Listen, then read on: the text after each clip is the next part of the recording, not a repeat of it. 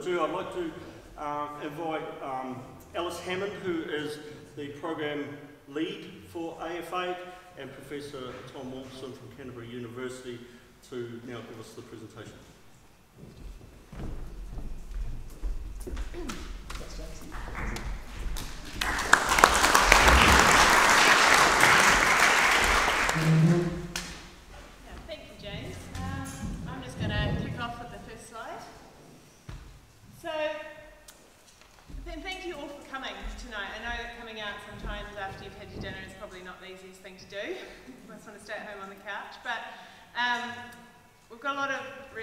Interesting and useful information to share with you tonight. So I'm the program lead for AF8 and I am what you like, I sort of join the gaps between civil defence and our science and also our communities. And one of my roles is organising the roadshow and bringing everybody together to do that. So AF8 is a collaboration between science and civil defence. So science doesn't have all the answers when it comes to earthquakes, civil defence doesn't have all the answers, and community doesn't have all the answers, but the purposes of AF8 is really to share all our knowledge and experience that we do have, and New Zealand does have a lot of experience in these areas, and so we can be better prepared for the next Alpine Fault earthquake. So AF8 started uh, 2016, I believe, uh, and it's a collaboration between the six South Island civil defence groups. And you can see the Alpine Fault there running right through South Island. It's, it's our biggest natural hazard here in the South Island, and it is also the shared hazard between all our regions. So when we have an Alpine Fault earthquake, we're all going to be affected by it, and that's one of the reasons we uh, like to go around and share this information as widely as possible. And it's one of the reasons that the six South Island civil defence groups, including Civil Defence Emergency Management uh, Canterbury and Ashburton, um, have joined in on, on the project. So we started out with our science modelling. Yes? I don't think the microphone's on. How do I turn the microphone on? Just speak closer to the. Yeah. Yeah? Is that better? Ah, that's a lot better. Should I start again? No. No, I've warmed up now anyway. Um, so the Alpine Fault is our biggest natural hazard here in the South Island. It's not New Zealand's biggest fault line. That honour goes to the Hikurangi subduction zone up in the North Island, so that's some good news for the South Island. But here in, in the South Island, it is something that is going to affect all of us, and so back in 2016, or just before that, the six South Island civil defence groups got together and decided it was time to do something about that. Uh, building on that with our science partners, Tom is one of our science leads, we needed a scenario to do that modelling, to have something to plan for, and we're going to talk you through that a bit more tonight.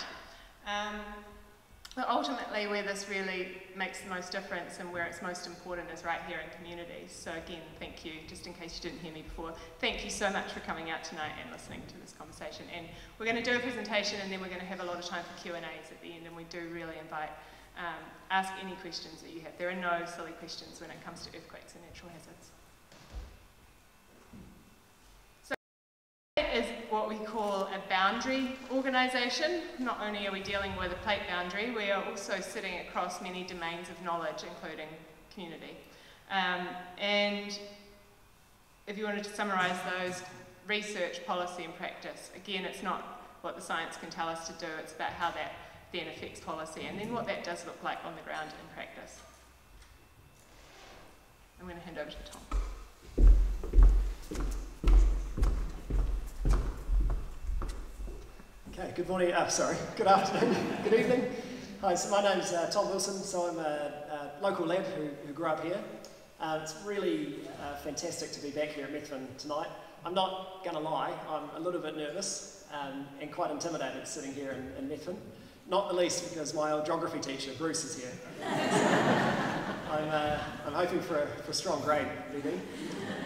So, um, so since leaving Methven, um, I went on to University of Canterbury, did a degree uh, in geology and geography, and then went on and did my PhD with GNS and, and Massey and, and, other training places, and, and, really got interested in the impacts of natural hazards on society.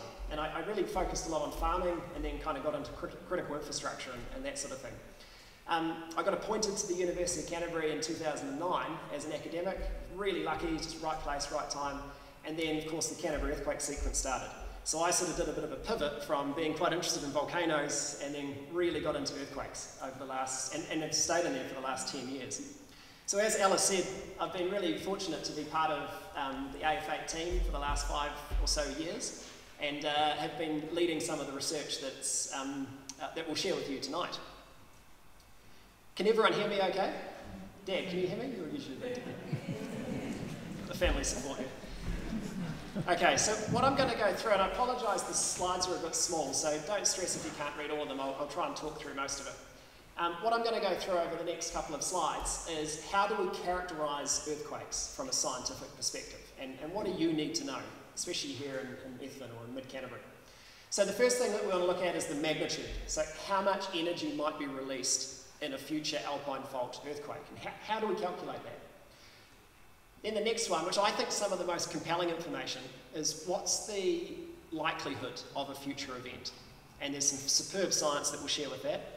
But then we'll get into things which are actually useful for you guys in terms of what might be the hazard footprint or the spatial extent of the, uh, the future event and, um, and what that intensity might look like. So what's the shaking that we might experience here in Methven or in Ashburton or, or wherever it might be. And those are the sorts of things that we can use for, for planning for what, what we might design our buildings towards or, or have our farms protected against. But what I really want to focus on towards the end of the talk is the useful stuff, in my opinion. So really thinking around what might be some of the consequences of an event like this and how can you take charge and, and reduce some of that risk or, or what some of those consequences might be.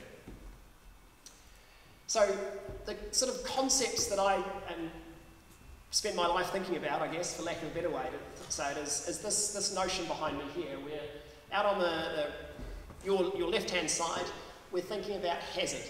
So these are phenomena that can affect society or cause harm. So earthquakes, tsunami, volcanoes, that sort of thing.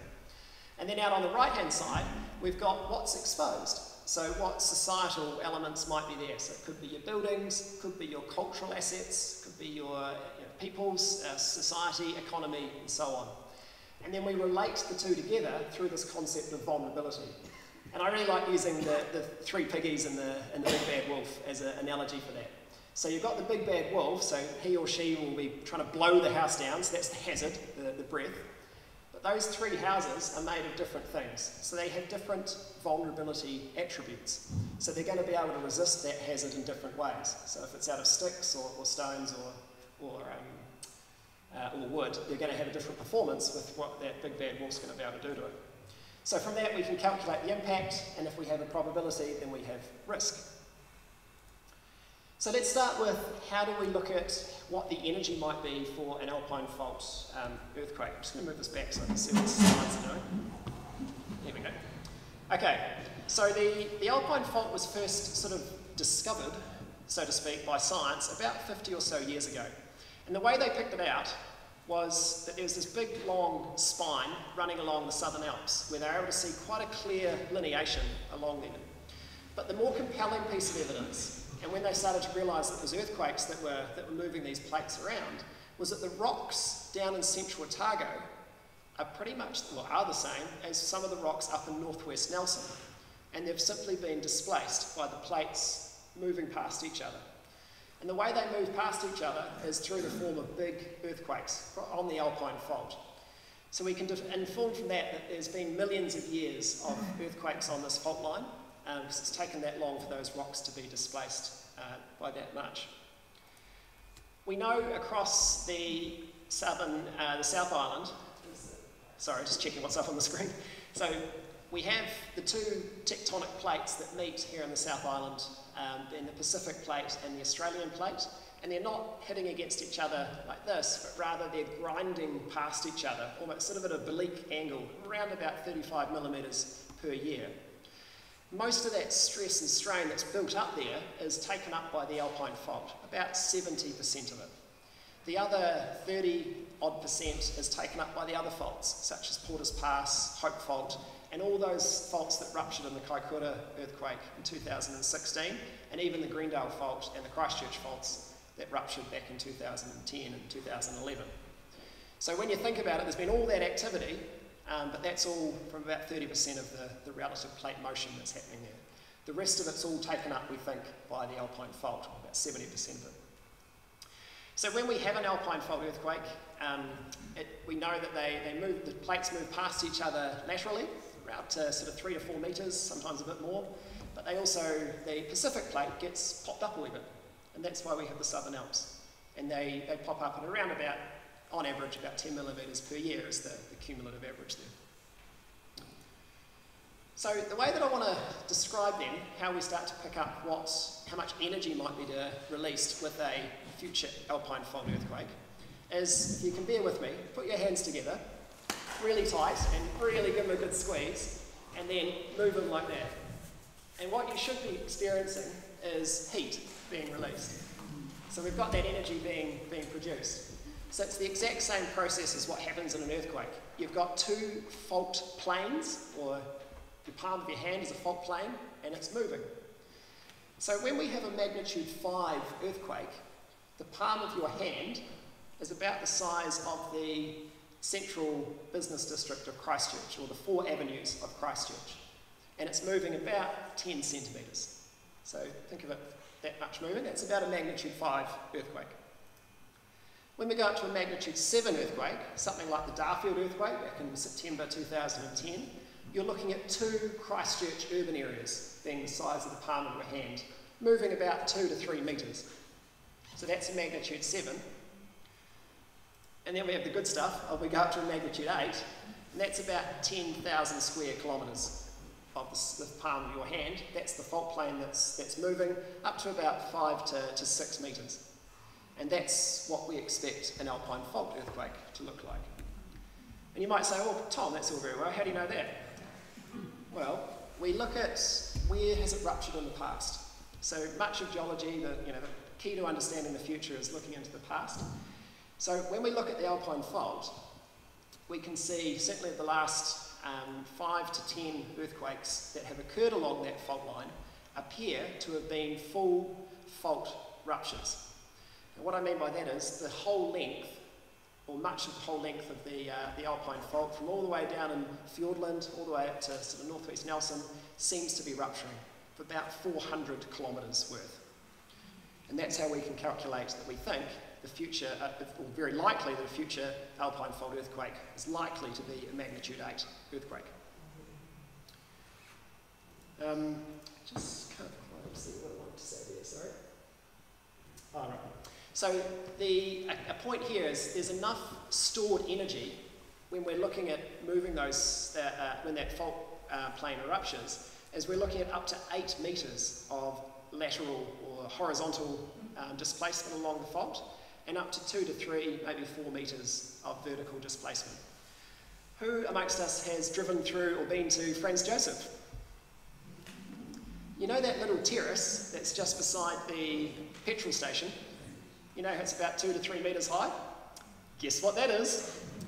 It's that 1717 rupture of the Alpine Fault. So probably in the, in, back in 1717 when the Alpine Fault last ruptured, there would have been about eight metres of horizontal displacement there, and then what we're seeing today, that little fault scarp or little terrace, is the vertical component. So it gives us a sense of, of how recent these things are and, and how, much, how much violence there is with um, some of these, these events. But this one here, and forgive me for the, this plot, I'll, I'll talk you through it as best I can, but I think this is some of the most compelling evidence of why we should prepare for an alpine fault earthquake. So what this plot here is showing is on the right hand side is the year 2000. And then as we go back in time, 8,000 years, back to about 6000 AD, we've got, um, so that's the time axis on the horizontal axis. What those little squiddly plot things are is histograms or, or little plots of, of data of radiocarbon dates. Now, what a bunch of crazy geologists have done dug around in the deep, dark fields of Fiordland and, and southern Westland and looked at areas where the Alpine Fault meets a watercourse or a swamp. And when it displaces, there's enough sedimentation and, and disturbance is that some of the organic content, the organic carbon, gets captured under a gravel layer or some other sort of lens where you, it traps that carbon. And if you go to the right spots, as you see where those faults are um, progressively working through, you can go back and date each individual earthquake. And what we've got here is the last 27 events on the Alpine Fault. It's an absolutely superb world-class data set and massive kudos to GNS Science, University of Otago and uh, Victoria um, Wellington University. Sorry, I mixed all that up, but anyway, we're in the South Island, it doesn't matter. The, um, what those scientists have managed to do is pull that information together and we can start to get an understanding of what the recurrence or what the type of earthquakes that we see uh, through time or how, what their spacing might look like. So of those 27 earthquakes over the last 8,000 years, we can see on the plot that they're very regular through time. So whilst there's a little bit of variance in terms of the, the radiocarbon age dates, they're largely in a very regular sequence. And that, that would tell us that this is a very mature fault.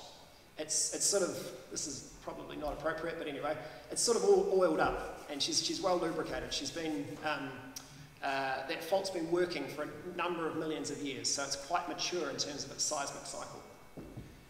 The longest interval between uh, the median age dates of those um, uh, uh, earthquake events is about 700 years, and the shortest is about 140 years. But what's probably most compelling is if when we look across all of that data, which again I want to stress, this is absolutely world-class data, you really just don't get this anywhere else, is that the average recurrence interval, or the, the average time between um, these rupture earthquake events, is about 300 years. And we're quite confident that the last earthquake on the Alpine Fault was in 1717 AD, so about 304 years ago. So what that tells us is that we're probably fairly far along the seismic cycle of, of this, this particular fault. So if you like, the, the spring is, is starting to wind and is, is really starting to get under tension. So it doesn't mean that we're going to have the earthquake tomorrow, but it just means that as every day goes on, the probability of it occurring increases. So for those of you amongst us uh, that are interested in probabilities, such as BD, over the next 50 years, the conditional probability of an earthquake occurring is about 30%, which is very high for a fault like this. And some of the new um, science data that's coming out of the northern part of the Alpine Fault suggests that that probability might even be a bit higher. So it, watch the newspapers for that because there'll be some announcements on that soon. So what we can say is for most of us in this room, we're a pretty good chance that we'll see an Alpine Fault earthquake in our, in our lifetime. So it's something we should prepare for. Now, the next piece of good news is the shaking intensity.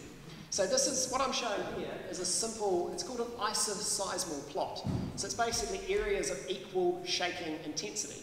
So areas that are red are very extreme violent shakings, where we would expect non-engineered buildings to collapse. So uh, as I understand it, the hall here was, um, has been recently retrofitted, which is superb. Um, but if, if this hall was located right beside the Alpine Fault um, and we had an earthquake um, before it was retrofitted, um, we would expect to see serious structural damage or perhaps even collapse. Um, so just to give you a sense of, of what we're dealing with here. As we move away from the, the Alpine Fault and out towards Canterbury, and, and, you might track across more to Christchurch, we can see that shaking intensity forecast drops away to something a bit more manageable. But just for reference, those are the exact, the, the, the plots that I've just brought up there on the left-hand side are the isoseismal plots for the Darfield earthquake from 2010. And many of you will probably remember the shake that that gave us here. And then the one at the bottom is the Christchurch earthquake from February 22nd, 2011. So they're to the same scale. So the take home from this plot is that a future Alpine fault earthquake will be a South Island wide event. Everybody will feel it. Auckland will feel it. They will have a good shake. Sydney will probably feel it. So it'll be a good earthquake. But where things, where things get like really cool, from my world at least, um, is there's some really exciting science that's, that's starting to come through to help um, with making decisions around how we can try and reduce the risk. So what we have here is I'm going to show you what's called a physics-based um, shaking intensity model. So it's run on a supercomputer at the University of Canterbury. It's been led by Professor Brendan Bradley out of the Civil Engineering Department there. So before I let it loose, what, what you're going to see is a uh, visualization of the shaking intensity of an alpine fault earthquake occurring running from south to north up the island. So I'll just let it run and then I'll run it again because it's, it's worth watching a couple of times.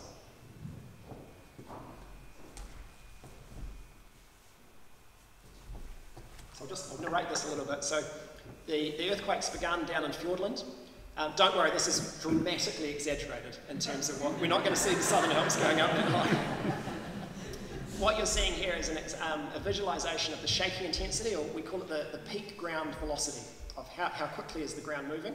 So at the moment, the waves are mostly working through hard rock, so the schists and gneisses um, in Fiordland starting to get up into some of the greywackes of, of almost southern parts of, of Canterbury. But what I want you to watch is what happens when the seismic waves enter into the big sloppy basin that is Canterbury.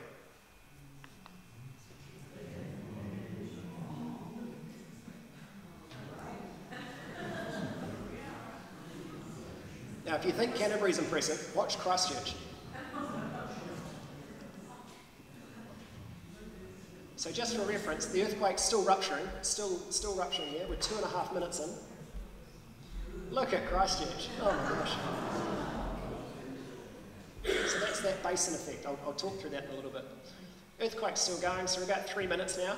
And what you're seeing is that big wave train um, uh, now heading for sort of getting to Nelson, Blenheim, and off to give uh, Wellington the good news as it moves forward. So the rupture's finished now. It's probably about three, three and a half minutes of, of rupture time along a 400 kilometre fault. So I'll run that again because it's, it's a good one to.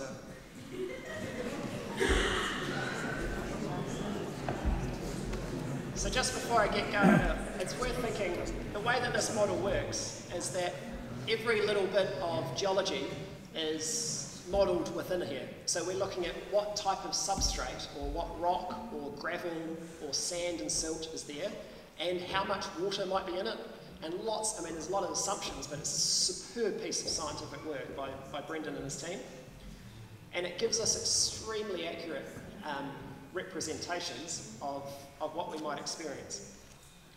So what we're seeing there is the, the ruptures occurring. So what's actually happening is as the earthquake or the fault is rupturing, it's rupturing at about the same speed or velocity as which the seismic waves are moving away or trying to radiate out.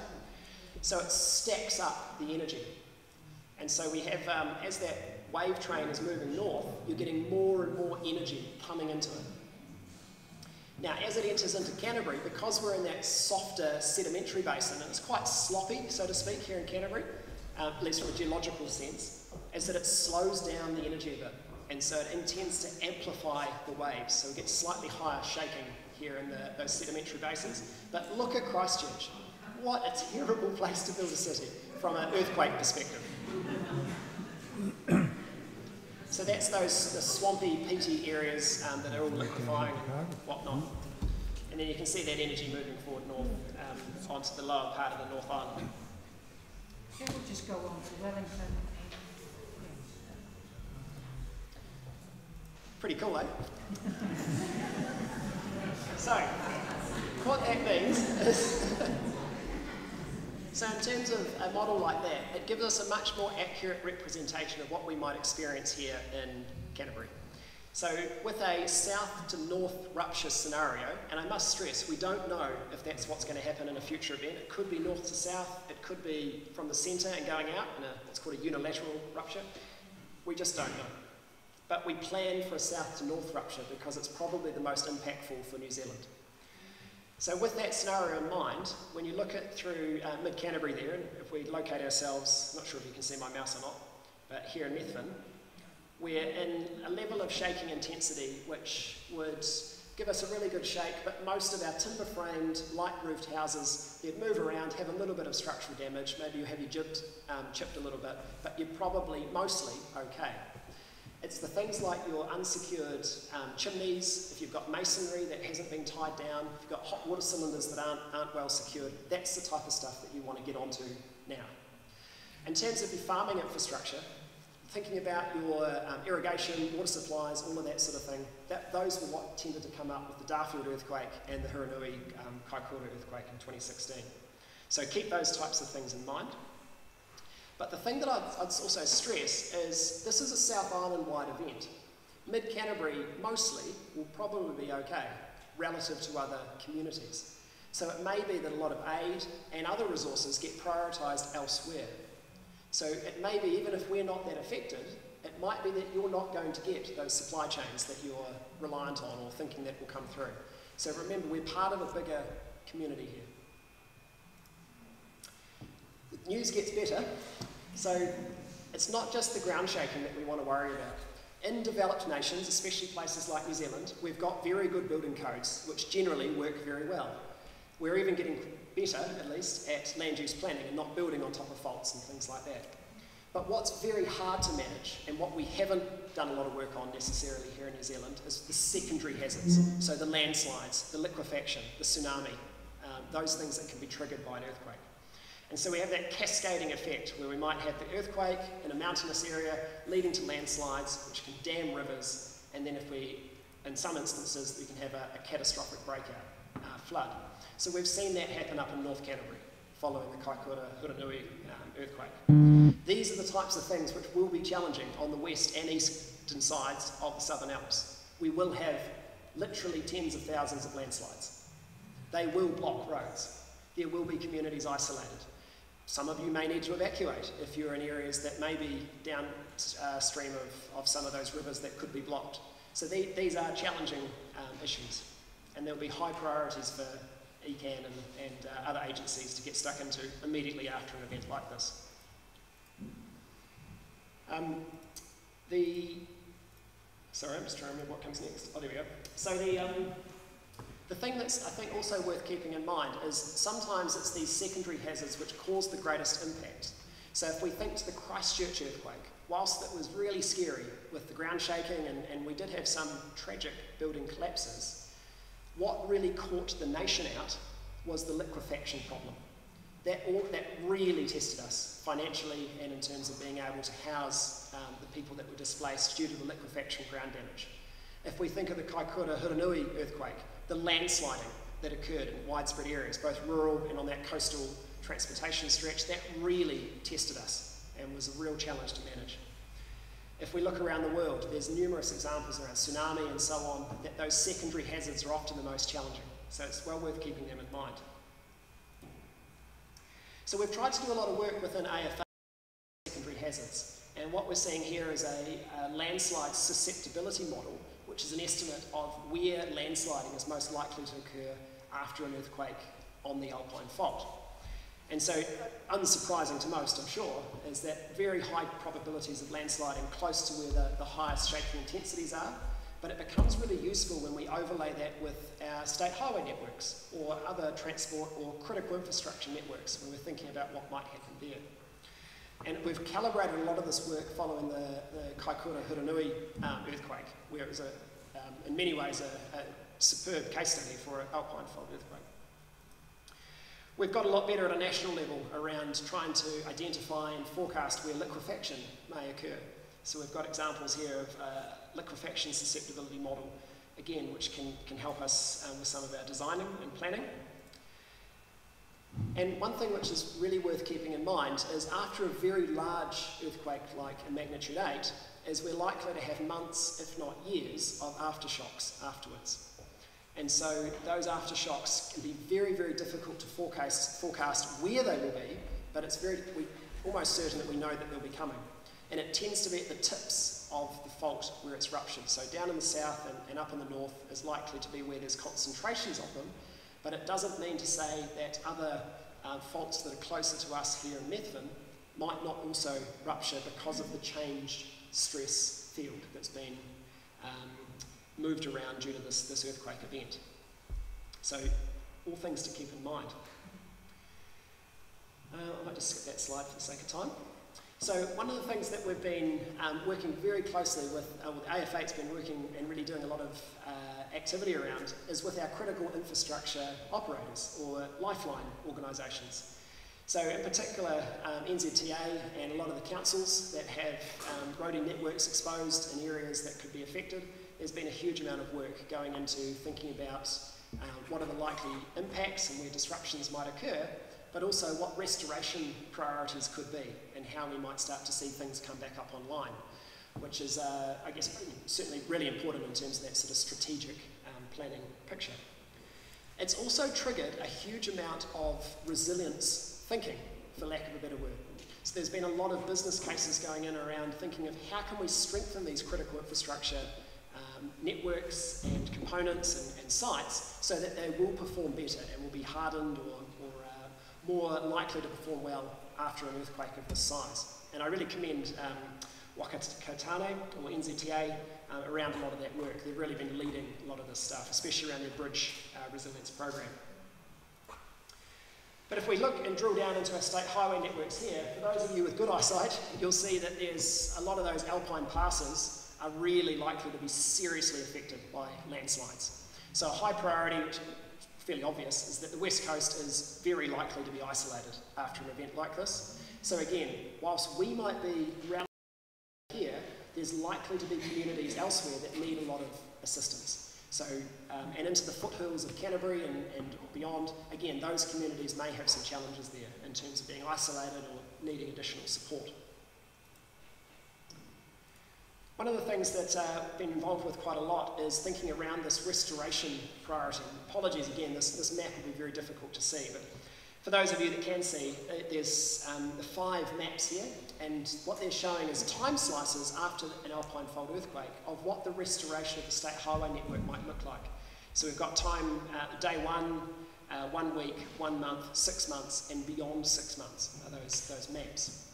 And if you can see it, what it's showing is that much of the west coast is unlikely to be restored uh, within six months of an event like this, especially places like Haast Pass and potentially Arthur's Pass as well.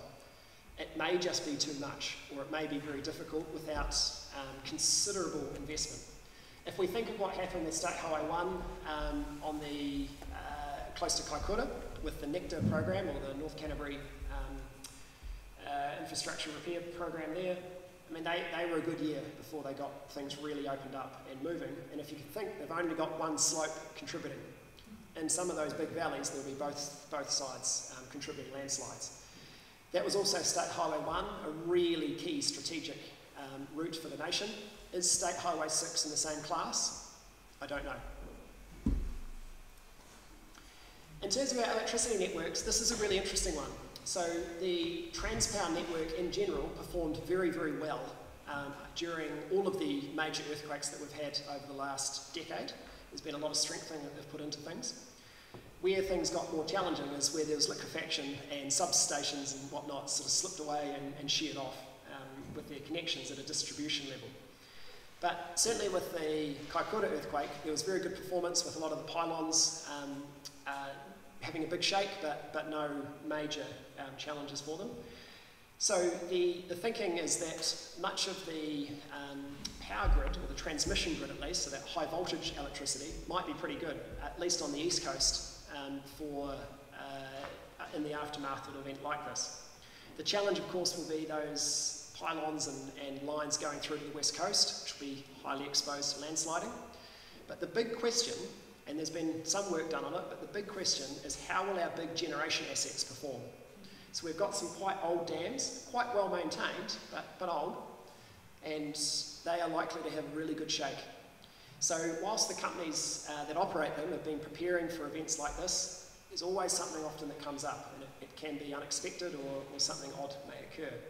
So the assumption is that electricity is likely to be restored across the South Island within days, if not hours, provided that the generators come through okay. But those generators will shut down for at least a couple of hours for checks and, and so on. The additional component with many of our hydro stations is, of course, their big lakes are surrounded by quite steep hills. And so we've got landsliding into them, which can create seiches or, or lake tsunami. Um, that, of course, can also create some challenges. So there's, there's a few things just to keep in mind with that. Just for the sake of time, I won't go through the restoration priorities there, but it does exist. Um, the telecommunication networks, um, again, many are sort of not quite isolated places, so could be affected. But um, the, one of the big interdependencies, I guess, is uh, their reliance on electricity. So whilst there's been a lot of resilience initiatives, especially in the aftermath of snowstorms, to get those rural exchanges working and, and can char- be charged up by, by other users, um, that's also expected to be a, a, a potential challenge. So the restoration of, of uh, infrastructure networks, gosh, I apologise, this, text is quite small. I'm just going to have to have a quick look to remind me what was there. Okay, so the, whilst the, the restoration of those big uh, infrastructure networks will of course be a priority, just do keep in mind there will be, it'll be really tricky for some of those repair crews if those aftershocks go on, more landslides come. What if we have a big weather event in the middle of it all and more debris comes down? So again, whilst here in the, in the wonderful Canterbury Plains, we're probably quite resilient. Um, we're not really exposed to a lot of landslides or anything like that.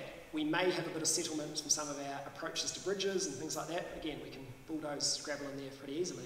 It might be some of those other communities that we are close to or across on the west coast that, that really need the, the highest priority. Don't worry about that, that's just a bit of stuff.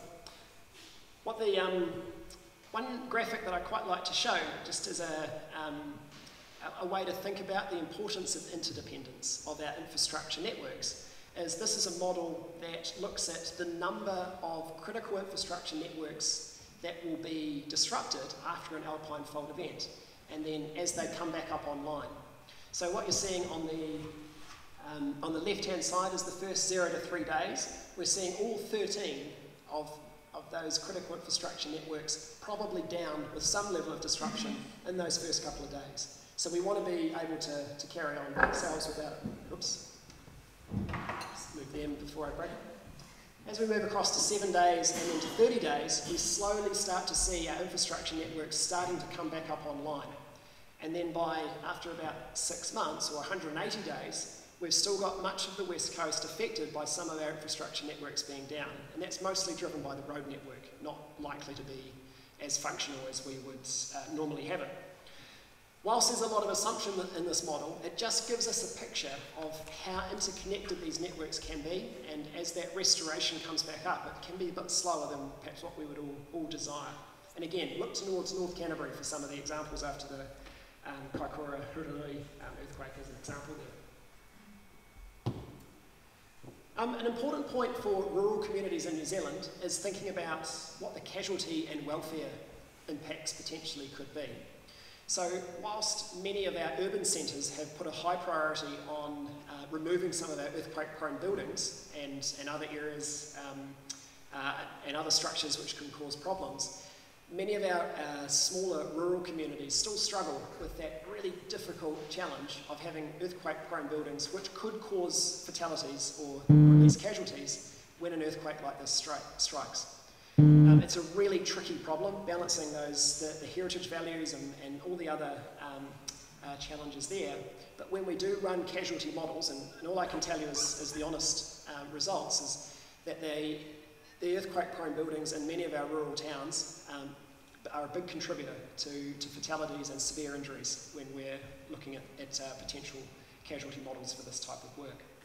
And I think the, the examples of which um, are clear from the likes of Christchurch, um, where many of those, those buildings which were um, perhaps not to the standard that we hoped they would be or, or, or uh, desired them to be, were, were, the ones that did a lot of the, um, lot of the harm. Okay, cool, just checking with that. Um, so one of the areas that we, we have a lot of power in our own um, capacity to do is to influence what those likely impacts um, will potentially be. Sorry, I apologise again, the text is so small. But the, one of the big determinants of the likely casualties and other welfare impacts will be the time of day that an earthquake occurs. Um, so for instance, uh, if we have an earthquake at about 4 a.m., that'd be about ideal. Everyone's at home and they're very usually very resilient houses. They're in their beds. And the key thing, stay in your beds. Don't jump out. That's one of the biggest claims for ACC injuries in the aftermath of an earthquake, is an action injury of people jumping out of their bed, hitting their head on something, tripping on some broken glass, or, or doing something like that. So the message is stay in your bed, ride it out as best you can, and then take a breath and then see, just see what you're jumping onto as you jump out of bed. it's, I know it's scary, but uh, you take nothing else away from this talk, stay in bed. the worst time of day for an event to happen um, is when there's lots and lots of people in um, uh, urban or, or, sort of small urban areas clustered around buildings which, which could potentially collapse and cause major fatalities, or if we've got lots of, um, for example, tour buses or whatever on landslide prone roads. That's where, we, um, where some of the concerns do lie.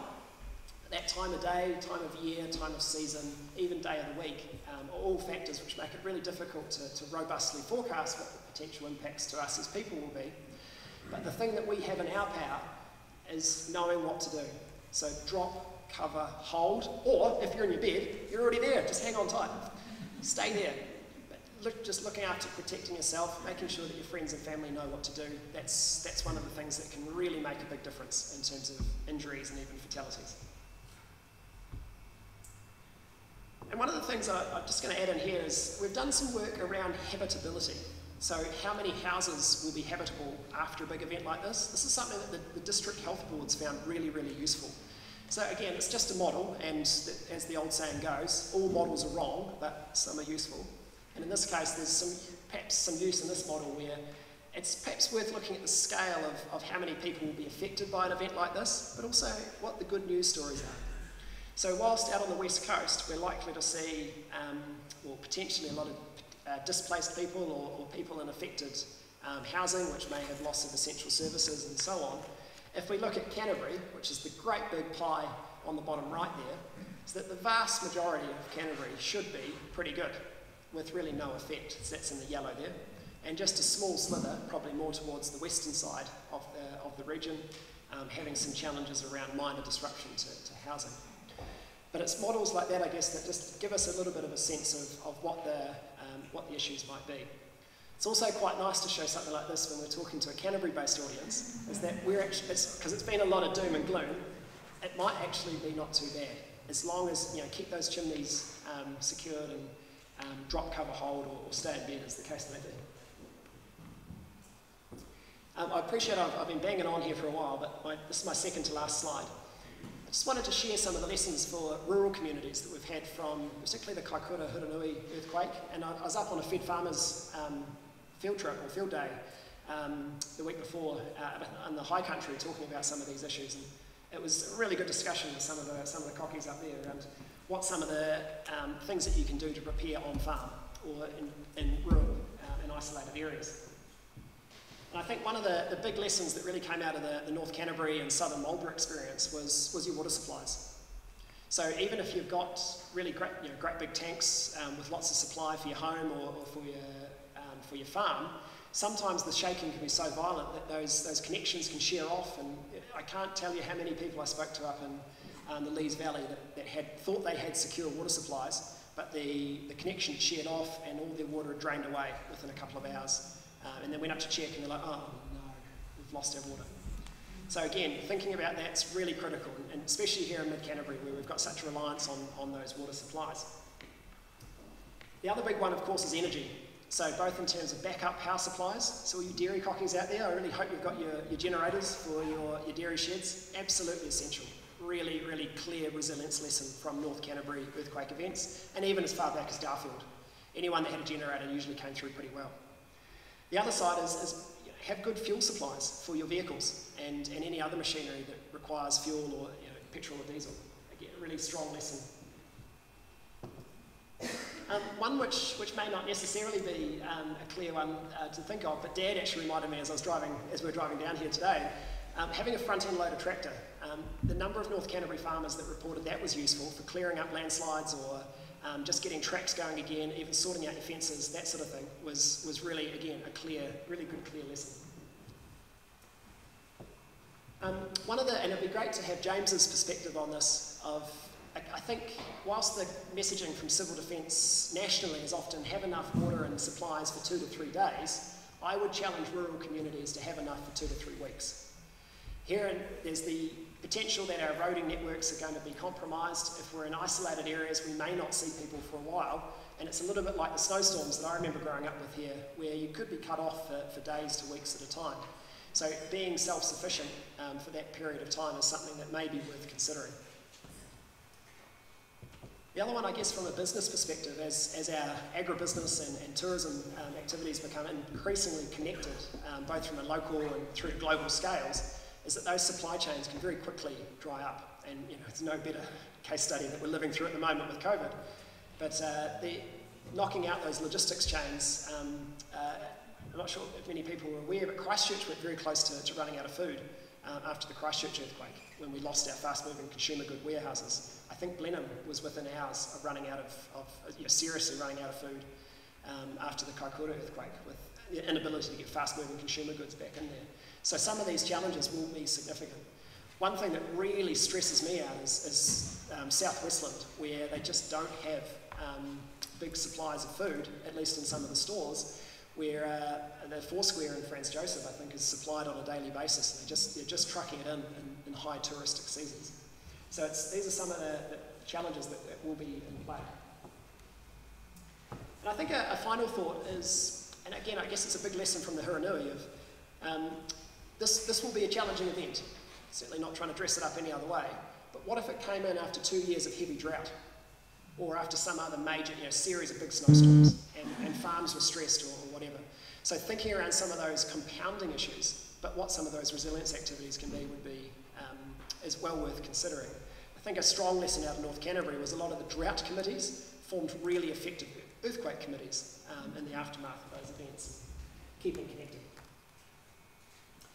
Okay, so last messages from me, and again, apologies, I'm going to go back and forth because I should have these memorised. Right, so the hopefully the take home from this, especially with some of that awesome data that the, the geologists have come up with, is next, or the future alpine fault earthquake is inevitable. And it's likely many of us will see it in our lifetimes, or at least we have a very high probability that we will. So any preparations that we can do will be valuable. Um, we've presented to you tonight a, one potential scenario. It's almost inevitable that a future earthquake will be different from what we've presented to you um, here. But at least you've got a bit of a taster of what it might potentially look like. And hopefully, I can see actually, it's been a wonderful engagement. Dad's still awake, so that's a win. And I can see people thinking, even BD's nodding, so that's, that's a good sign. Um, I think some of the stuff that we really, and again, I feel like many people have got this pretty well down, but those secondary hazards, the landslides, the liquefaction, that sort of thing, those will be really challenging. And it, they're not just going to be something we can sort out in a day or two. That'll be months to potentially years after an event like this. So um, anything that we can do now to prepare for that, and so you as voters have power with that. Um, communication, of course, is key, but building those, those networks in our communities is really essential. It'll be your neighbours that'll come and help you out, friends and family. It's not going to be the, um, the, the, emergency services or civil defence and so on. They'll be completely swamped. There's, there's, honestly not that many of them. People like James are, are really precious, few and far between. So invest in each other, and that becomes a really, um, a really clear lesson from the last decade of experiences we've had here in New Zealand and, and of course from around the world. I think that's getting towards. So this final slide here, Alice, did you want to sweep in and yeah. have a different voice doing this? Because it might, might be like, few people might be sick. I'll finish off here and I'll come back for questions. Tom. And yeah, we will go on to questions just shortly. And I think uh, these are just some of the points you might like to take away with you on how we can prepare. Like Tom's illustrated, we can't predict earthquakes. Science is not that advanced, but the next alpine fault earthquake is inevitable, and there's a lot we can do to be better prepared for that. Um, I'm not going to speak to all of them. There's some of the, the points are also on this banner here, and you can find a lot of information through the uh, uh, pamphlets and flyers that are around the room tonight as well. One of the key messages, though, that I would like to sort of end on is that you don't have to do it alone. So being prepared for two to three weeks, I think the slide behind me says at least seven days, some people say three days. You know, sometimes that's not feasible when we've got life to get on with in the meantime. Um, but that real message about coming together before something happens is really what we're trying to get, get through today. Is Kiwis are so great at coming together after an event. We've seen that time and time and time again. Um, and what we'd encourage you to do is to start having these conversations before the event, when it's a bit easier, a bit more comfortable, a little less, a little less hectic, and we can all be better prepared for the next Taupo earthquake. So thanks again so much for coming tonight, and I think we'll just open up for questions now.